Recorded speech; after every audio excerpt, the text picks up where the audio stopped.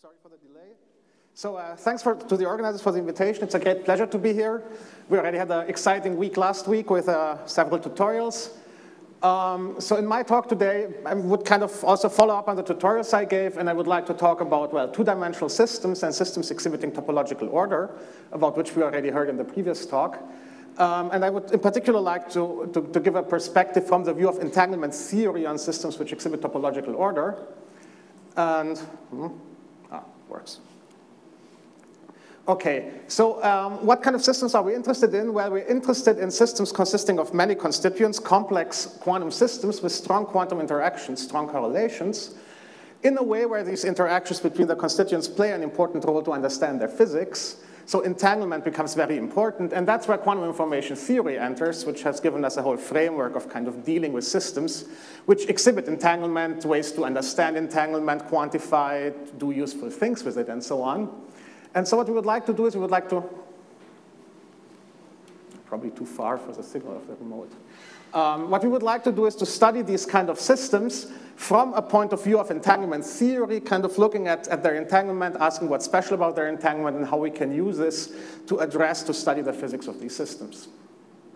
So the type of systems I would like to focus on in my talk, just to mention very briefly, are spin systems, something which is very familiar to people in quantum information, of course. It's just, well, finite level systems sitting on some lattice, interacting via some local interactions. And that's actually a kind of system. Of course, nature is not built of spins, and it's also not built of lattices as such, but it's an effective model which shows up in many scenarios. So we can have crystal lattices where localized electrons give magnetic moments, and the magnetic physics is described that way. We could also have bands which form Mott insulators because they're half filled and exhibit that physics. Or like in, in Christian's talk, we could have optical lattices, which we build in the lab, where we simulate that kind of physics. So there's a wide range of regimes where these systems actually appear. And the kind of physics we're interested in here is mostly the physics at low temperatures. In particular, we'll be thinking about ground states and the excitations on top of the ground states. And one particular reason is that these systems ex exhibit most entanglement. So we expect they exhibit the most unconventional physics because we know in quantum information as we raise the temperature of a system, it gets less and less entangled, so it should become more and more classical. So um, before I kind of say what's special about these entangled systems, let me juxtapose them to what one might call conventional matter, so systems which don't exhibit strong entanglement. And we could think, for instance, of a magnetic system where the, the magnets would like to align in parallel, a ferromagnetic system, and either we could change the temperature, and depending on the temperature, the magnets will either align in parallel or they will become disordered. Or we could have, say, in a ground state problem like we would like to consider in this talk, we could put a transverse field, which has a very similar effect. If the field is large, the spins will align along the field. If it's small, they will all align in parallel and not along the field. in some random direction. And this can be detected by some order parameter, some local order parameter. So we can look at a single spin and ask, does a spin align in a way which breaks the symmetry of the interactions? And if it does, we say it's symmetry breaking. If it doesn't, it's symmetric. And this way we can classify quantum phases um, based kind of on the assumption that there are negligible uh, uh, correlations, negligible entanglements, so we can describe, understand the physics by basically making a product state ansatz, which allows us to characterize its behavior just by describing what a single spin does. So quantum matter is something which doesn't behave like that, which doesn't behave like, well, Landau theory, which is based on this kind of existence of a local order parameter. So for instance, these systems can exhibit degenerate ground states, which are not distinguished by a local order parameter, which cannot happen in the previous case. All the different ground states, spins pointing in different directions in parallel, are labeled by a different value of the magnetization of a single spin. So that's very unconventional that these states cannot be distinguished. They also exhibit excitations, which, say, on a spin system can show fermionic or even more complex behavior, which is something which we cannot expect to show up in a system which is just described by a product state where excitations are just single spin flips, basically. And they will also exhibit very special physics at their edge, which cannot be understood as a purely one-dimensional physics. It requires the existence of non-trivial entanglement in the bulk.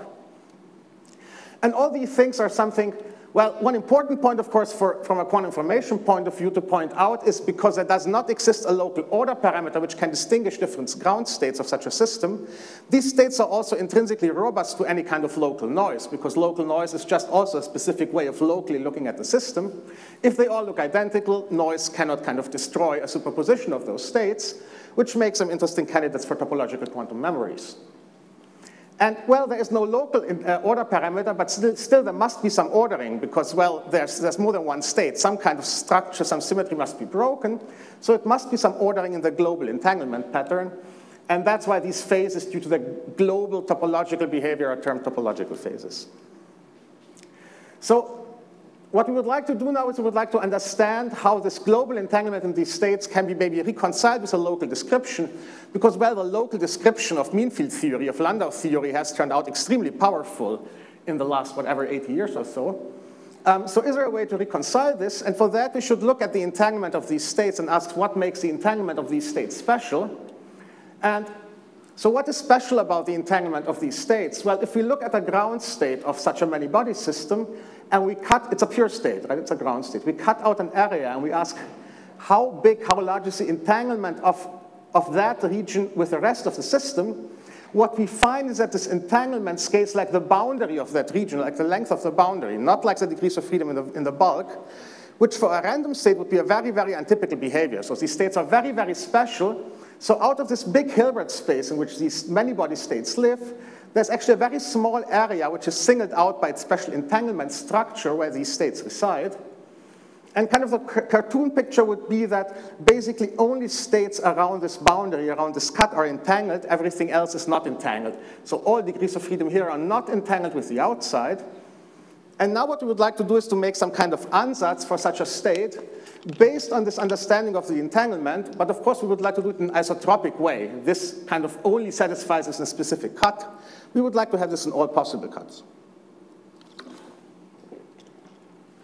So the way we do it is as follows. One could think it's inspired of mean field theory. In mean field theory, we just have a state which is a tensor product of individual states, so it's just characterized by a vector, by a bunch of numbers attached to each of the spins, and each is described by the same vector. What we do now is that to each side, we don't associate a vector, we associate a tensor, and this tensor will have five indices on a square lattice. One index corresponding to what we had here, the d possible physical states, but additional four auxiliary indices or virtual indices which are used to build up correlations. And what we do then, we build a grid of these states, and the idea is that whenever on this grid we connect two legs, it means that we identify the index, like the gamma here, for instance, and sum over it. So what we do that way is we identify adjacent virtual indices and sum over them, and the summing builds up correlations. It's a way of building up correlations.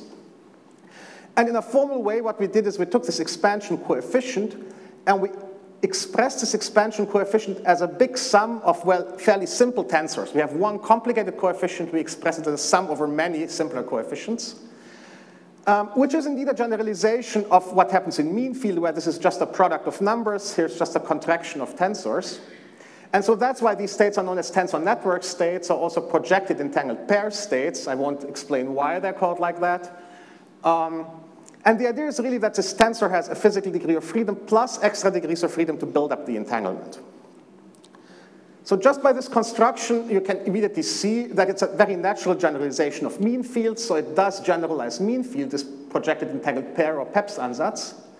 But it also turns out, and that's kind of remarkable, it's not a perturbative generalization of mean field, but we can already on the lowest non-trivial level, where this auxiliary index, each of them has two possible settings, we already can describe non-trivial topological models and indeed, we, it turns out we can describe all uh, non-chiral topological models that way, for instance. We can also associate these guys to Hamiltonians. We can use them to build solvable models where we also have a Hamiltonian and a ground state wave function. And we can generalize this to go beyond spin systems, to go to fermionic systems, systems with chiral order, with continuous theories, and so forth. Another thing, so this, this, this tells us that certain types of, of phases of wave functions can be modeled exactly. But conversely, these states are also very well suited to generally approximate the low energy physics of systems with local interactions. And well, there are several ways of proving it, but the intuitive way goes by saying that in order to get a low energy or ground state, we can do some imaginary time evolution to cool. And this cooling we can, in a quantum information way, maybe implement by using up some entanglement. But we don't need much if we do many small Trotter steps. So then one can basically take these guys and compress all the entanglement used and do this with a very low amount of, or relatively low amount of entanglement. That's kind of the intuition. So because they approximate these states well, this, these states form a basis for very powerful numerical methods, for instance. That's something which I also explained in one dimension the tutorials last week, for instance. All right, so there are several things we can do with uh, these class of tensor network states, or PEPs. Well, we can use them for very mathematical things like classifying phases, looking at the structure of the entanglement in the system as, as given by these tensors. We can use it to, to build models to study the specific, of, uh, the specific physics of specific systems by setting up some model wave function. And we can do full variational simulations like density matrix normalization group. And in my talk, I would like to focus on these two aspects here. And so how can we use these tensor network states to classify phases? Well, one relevant question is how can we encode physical symmetries we have in a system? And it turns out that in tensor networks, generally the idea is that symmetries can be encoded locally. So one direction is fairly easy to see. If I act with some physical symmetry on the physical degree of freedom, and the tensor has this property that it translates this action to some different action on the entanglement, on the virtual degrees of freedom. And then I build up a network of these guys. Once you build a network, you see that on every leg you have one VG and one VG dagger. If that's a unitary, it will cancel. So I will get a symmetric wave function that way. Now it turns out that, for instance, in one dimension, but also under certain conditions in two dimensions, the opposite also holds. So whenever I want to study the physics of a symmetric wave function, I can do it locally. There's a way to encode this property locally, despite the global entanglement in that wave function. And actually getting a full understanding of the reverse relation is still an open question. Um, like what are the conditions when I, when I can encode this locally? What's the most general way of doing so? And these symmetries also show up in the Hamiltonian, to which this is a, a, ground state. So we really can use it to study the, the physics of phases of systems under symmetries. And one thing one can do, for instance, is to do this in one dimension, where, for instance, if you have a spin one chain, like the Haldane chain we heard about already today, in the Haldane chain, what we have is that the physical spin one action translates into two spin one half actions at the boundary. And it turns out that this is very, so there are two possibilities to satisfy this equation. We could have integer or half integer spins. And these are two completely inequivalent ways of building spin chains, so one can use this to classify the structure of these chains, of these one-dimensional chains, chains under, say, spin one symmetry in one dimension. But I would like to focus on two dimensions and specifically on topological order. So the question is, is there also a way to not only encode physical symmetries, but to also encode topological order in some local way? And it turns out this is indeed the case. It's actually very resemblant, if you just keep this in mind for one second, to it's very resemblant to that. So what we have now, in the, in the simplest case, I go by example, in the simplest case in two dimensions, we have a very similar symmetry. So we have that the tensor is invariant under the action of some symmetry like Z2, that's a Pauli Z matrix here, on the entanglement degrees of freedom alone. So before we had to act with a physical symmetry to get this equation, now we don't have to do this. So it's not related to having a physical symmetry, it's just related to having some structure in the entanglement degrees of freedom in the system. And let me try to, to explain you why, like, why this, this allows to understand topological order, and it actually allows to understand many aspects in kind of a unified way. And to understand it, it's actually very helpful to take this equation and move two of these z's to the left side, say these two. So now we can think that what we have is kind of an imagined line of things. So these z's are kind of lined up. And what I do is I take this line and I push it to the other side of this tensor. First it goes above, now it goes below. And one can indeed make a more general formulation of that. So there's a very general formulation in terms of other tensors, which form some tensor network which can be pulled through. And it turns out this general formulation really allows to describe all non-chiral topological phases. But why is this property useful? The basic insight is that this property is useful because we can build up long strings of these z's running through our system. Just think of a, well, infinitely long string. And then we can use this equation to say, take this part and move it to the other side, and we can continue, continue doing so. So we can make strings of objects in our system, and the, the location of the string is kind of floating. These strings are not localized objects, they're actually freely floating objects. So why is this important? How is this related to topological order? Well, the point is that what we can do, for instance, if we wrap our system on a, on a torus with periodic boundary conditions, we can put horizontal and vertical strings of these z's, so this g and h can be either nothing or a z, around the torus. And now what you see is that, well, these strings don't go away, right? So these states should be inequivalent whether we put a string or not.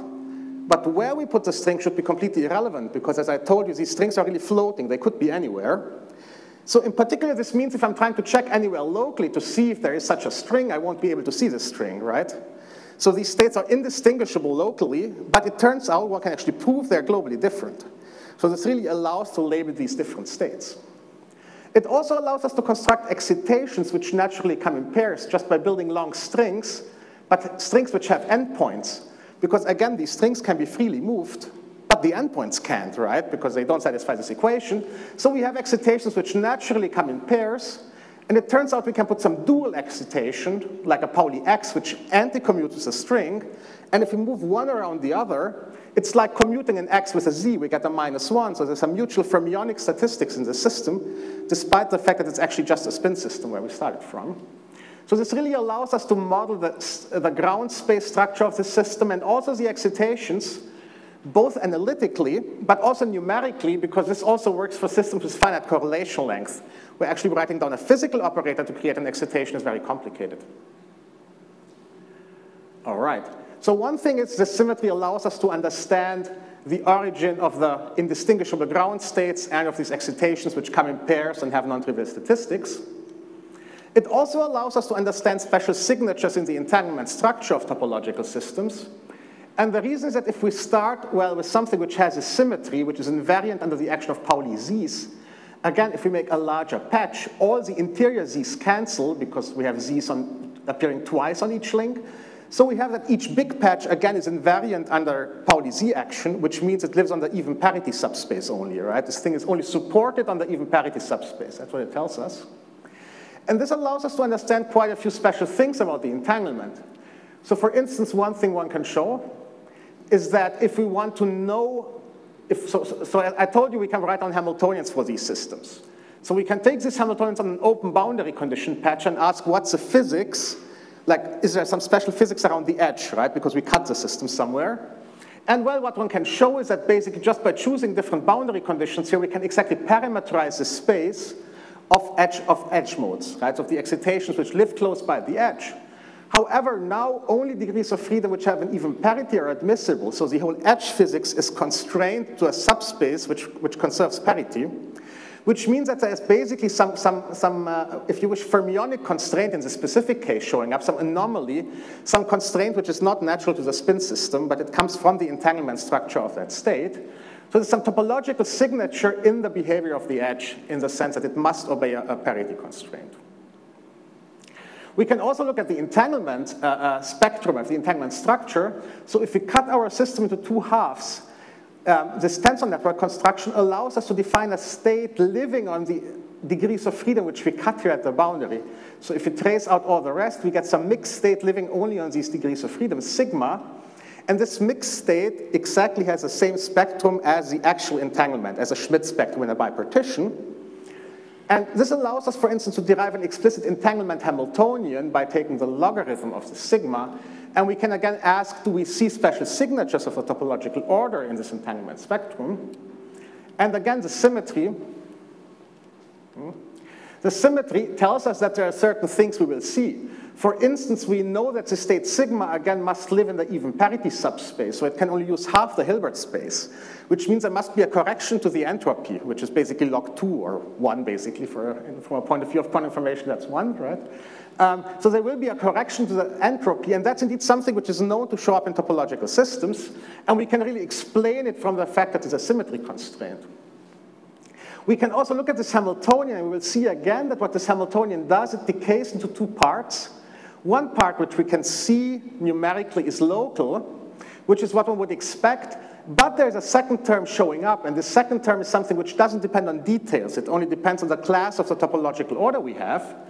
And this part, so it's, it's universal, right? It only depends on the phase we're in, not on microscopic details. And it's anomalous. It's some global term. It's something which we can't explain from local physics. It must be backed up by something from the bulk, right? It cannot, it's, it's not one-dimensional because it's not local. And this term, again, is showing up from the fact that this is parity constraint. So it relates to this parity constraint. And the great thing is that one thing we can see is that this term here, this universal non-local anomalous term, is exactly the same kind of term as the one we see in the actual edge physics when we cut the system. So this really proves why in these kind of systems there is an exact correspondence between edge physics and entanglement spectrum. And that's something which um, well, it relates to this um, edge entanglement correspondence, which was first proposed by Li and Haldane in the context of fractional quantum Hall effects. And this kind of gives an explicit way of understanding where this comes from in the case of non-chiral topological phases. All right. So. Are you saying that any tensor just some global is also topological? Well, if it has a symmetry of that kind. It's actually a bit more subtle. I will get there in a, in a few minutes. Um, Right, okay, so um, let me now, um, from entanglement, go back to these symmetries and show you an application where this allowed us to study a concrete physical system um, in more detail, and this is about studying topological spin liquids. So what are topological spin liquids? Well, kind of one candidate material is the Heisenberg antiferromagnet on the Kagome lattice here. So well, it's of twofold interest. First of all, it could be a topological spin liquid. Second, it's believed to be realized very well in this material here, Herbertsmithite, where we have magnetic layers um, separated by non-magnetic layers. And the point is that, well, what's special about the Kagome lattice? Well, these spins would like to align in antiparallel. So you see they can't align in antiparallel, right? Because we have triangles, they're frustrated, which means that there's a super high degeneracy of the system. On the other hand, the system would like to order magnetically, but then it can't order because of this frustration. But on the other hand, we have quantum interactions. It's more subtle than just antiparallel, right? We want singlets. And the idea is that in a topological spin liquid, this kind of magnetic ordering here, the system will not order magnetically, but the strong interactions will lead to some order, but it will be topological order.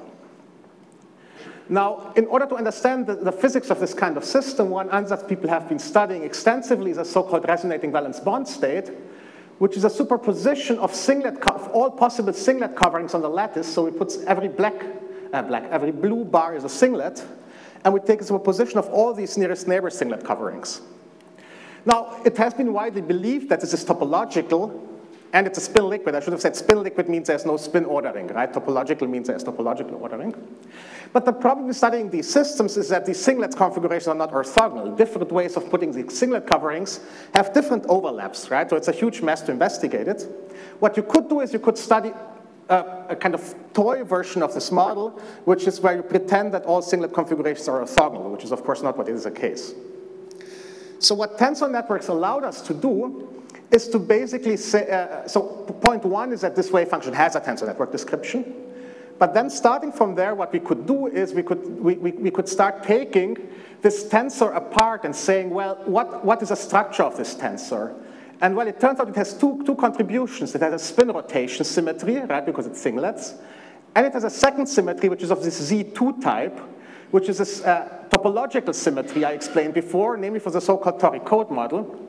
And actually there's a relation between the two because the conservation of spin, one, of, of, of spin indeed implies that integer and half-integer spins must obey such a constraint. Anyway, this construction allows us to separate these two contributions. Coupling is very weird, kind of special spots in this room. Um, so what this allowed us to do is now to, to take this tensor, which has two types of symmetries, right? It has a SU2 symmetry and a topological symmetry. And we could start taking one of them, namely the SU2, the unwanted one in some sense, slowly away, adiabatically away. And because they are parent Hamiltonians, this meant that this also corresponded to change the Hamiltonian smoothly. And in the end, we would be left with something which would only have the topological order and which would be a model which we could solve analytically.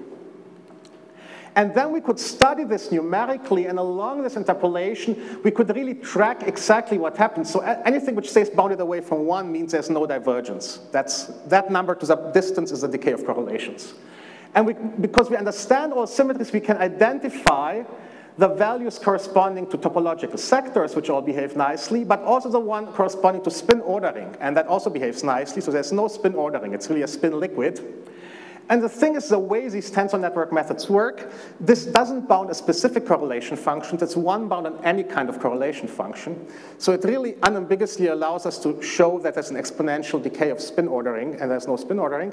Whereas with any other method, you really have to pick a specific type of correlation function, spin, spin, compute it, but then you maybe have dimer, dimer, or quadrupole, quadrupole. So this really allowed us to make much stronger conclusions about the nature of the state and unambiguously say that this is a topological spin liquid. All right. Okay, so in the last 10 minutes or so, um, let me um, switch topics slightly. Well, I will stick with topological order. But I would like to talk about transitions between topological phases. Oops, okay, let me skip that. So up to now, what I told you is that the symmetry is basically equivalent to having topological order in a system. But in fact, it's slightly more subtle. So, well, the coloring scheme changes a bit, but well, each dot is a tensor, right? So in order to model our excitations, what we had is that we would have one of these tensor networks with a symmetry. Then we would put a long string of symmetry operations, which would end somewhere. And actually at the endpoint, we could put something which doesn't commute with a symmetry, like the Pauli X for the Pauli Z, an irreducible representation. So we would have these strings, and I said, well, these describe topological excitations, which is true in principle, but it also depends how I exactly choose these tensors inside the class of symmetric tensors because I have like an infinitely big tensor network in principle, and this infinitely big network imposes some boundary condition on the string. And well, this boundary condition could be nice, but it could also be a bit strange. For instance, it could be orthogonal to that string, such that if I glue the string into this boundary condition, I get zero. Then, of course, this doesn't describe any excitation. It doesn't describe anything. It could also be that the string is a symmetry of the boundary condition. Then putting a string or not putting a string doesn't make a difference. Then this doesn't describe an excitation. It describes the original state. So it turns out that the whole thing is actually more subtle than I initially claimed. It depends how I tune my parameters. I can tune them so that this is actually orthogonal to the ground state, but I can tune it differently. So it, it doesn't describe a proper excitation in one or the other way. And that's what is known as condensation or confinement. So if by putting a string I get my ground state back, it means that what should be this excitation has become part of the ground state, so it has condensed into the ground state. On the other hand, if putting the string gives zero, if the string is very long, it means the only way to get it non-zero is to take the other endpoint of that string and get it very close. Because then maybe this doesn't happen anymore, so I cannot separate excitations very far. And that would mean that these excitations become confined. They can only show up in pairs. So how can we understand how this happens or when this happens or maybe even classify the possible ways in which this can happen? Right, there's a mechanism for topological phase transitions, of course, but how can we understand how this happens? Well, what we have to do is we have to compute expectation values, right? So one thing we have to check is that's an overlap, right? I took a tensor network and put another one on top and, well, do a piece of it. So this has an excitation on one layer. So that's the overlap of the ground state with the excitation. So this should be zero, right? If it's, if it's not zero, it means it's, um, it's not orthogonal, so it's not a proper excitation. This one would be the normalization of this state. This beta shouldn't be zero. So I, I want to know how these two guys behave. Are they zero, are they non-zero? So for this, I can kind of slice a system in this direction and look at the boundary condition imposed from the left and on the right on the system, right? I just come from left infinity until the string and from right infinity until the string, and I get some boundary condition on the left and some boundary condition on the right, and then I have a string sitting here and I want to compute the value the string gives. So what this actually is, in some sense, it's a string order parameter. I haven't talked much about it. Christian has mentioned it briefly. So this is an irreducible representation of my symmetry group, which is what a normal order parameter is. But I combine it with a string of a symmetry action, and that's what a string order parameter is. So depending on what I put, I get different things. If I only put this, I don't put a string. The string acts trivially. It's a normal order parameter. It will measure symmetry breaking, conventional phases, right? If I also put a symmetry action, it will measure some non-trivial quantum order in the system, symmetry protected order to be precise, which is something which is detected by string order parameters, like in the Haldane phase. Now, this, of course, is originally something which is derived for ground states of local Hamiltonians, but the idea is that these systems, if they're gapped, are also short-range correlated, so they exhibit very similar physics. So we could use what we know on the classification of those kind of phases and transfer it here and do the same kind of classification of phases under symmetries. And that's actually what we can do. And well, we just get the same as usually. We get symmetry breaking on the one hand, but then if a symmetry is not broken, we can get symmetry-protected order, like non-trivial quantum order. There's only one extra ingredient. One ingredient we use is that our states, our well, fixed points are short-range entangled, but that's the same as for ground states of local Hamiltonians. They're short-range entangled. A second ingredient, these things actually have a ket-bra structure because they come from expectation values. And they must be positive because they're fixed points of a completely positive map. And that gives a number of extra constraints, and while I won't discuss these, you can ask me later if you want. You get a number of constraints which allow you to fully classify the possible ways in which these anyons can condense or confine based basically on the classification of well, symmetry breaking and symmetry protected phases, which is well understood. Okay, so then we can use this, well, one thing is this allows us to set up computable order parameters for topological phases, which is great because, well, topological phases don't have order parameters, but this allows us to set up order parameters which we can measure in simulations, which measure condensation or which measure deconfinement. And then we, we, we, did a case study for Z4. Let me skip that. But we, we get a very we get a very rich phase diagram for that system. So um, by, by introducing three parameters, we can start from the full phase, which is characterized by a Z4 symmetry. We have two different Toric Code phases. We have what is known as a double semion phase, which, uh, well, is similar to the Toric Code, but the statistics is different. And we have a number of trivial phases, and then we can vary parameters and study the phase diagram of the system. And, well, we, we can, for instance, measure along a topological phase transition an order parameter for the condensation and the deconfinement. We, we, we, get a number of interesting phase transitions. For instance, along this plane here, if we interpolate along this plane, that's what this cut shows, we get continuously varying critical exponents. So I'm not exactly sure what that is. If anyone has a, so that's a critical exponent beta for the order parameter, which goes from 1 over 8 to uh, 0.04 and 0.25, depending on which side of the phase transition we check. I'm not exactly sure if that's a known or unknown universality class, so if you've seen something like that, let me know. Okay, we can also look at, for instance, direct transitions between the toric code phase and the double semion phase, which is something which is of particular interest because it's not described by anyon condensation in principle. These phases are kind of so, so there's some kind of ongoing debate of the, about the order of the phase transition. And we can, for instance, set up different phase transitions, some of which are second order, things behave nicely. Some here are first order, so you can actually see that the order parameter makes an abrupt jump as we vary our parameters. So it really allows us to explore this whole phase diagram in quite some detail. All right, and I think with that I'm at the end. Um, so, well, I introduced tensor networks as a way of um, describe quantum many-body systems from the point of view of their entanglement. They, well, one great feature they have is that they give us an explicit meaning to, to the entanglement at the boundary. They give us an actual entanglement space at the boundary. I discussed how topological order can be understood from local symmetries and also how global symmetries can be understood from local symmetries.